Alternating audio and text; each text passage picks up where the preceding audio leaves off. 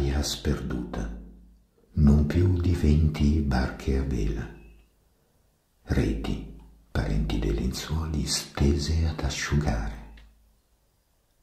Tramonto. I vecchi guardano la partita al bar. La cava azzurra prova a farsi turchina. Gabbiano artiglia all'orizzonte prima che si rapprenda. Dopo le otto è deserto il lungomare.